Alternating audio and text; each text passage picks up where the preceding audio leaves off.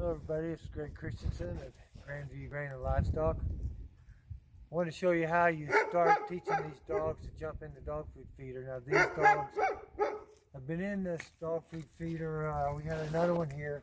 We actually cut one of these bars out and bent it up when they were small so they could come in and out. And then we neglected them for a while, just fed them on the ground um, for various reasons. Now I'm going to teach them how to jump into this and get dog food out of the self-feeding dog food feeder. We put blocks up here to help them out uh, on the inside and the outside. And the, trick is just to get them in there to start with and they can usually find their way out and then they'll soon come in and out. Now they've, they've eaten out of a feeder like this before so they know there's feed in there.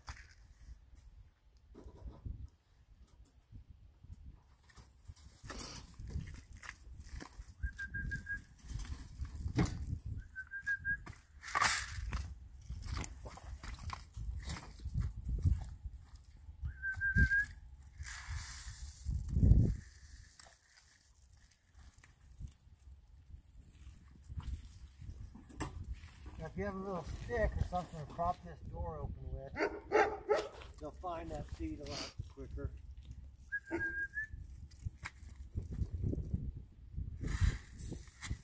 There you go. Now we're going to drop some in there to eat.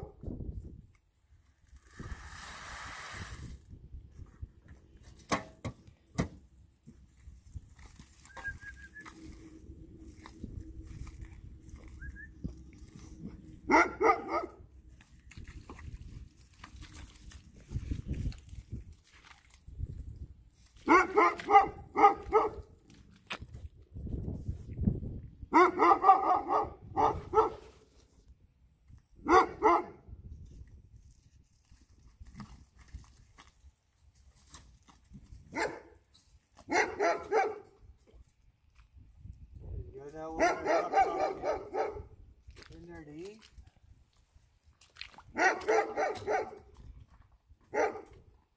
after of this, they'll figure it out.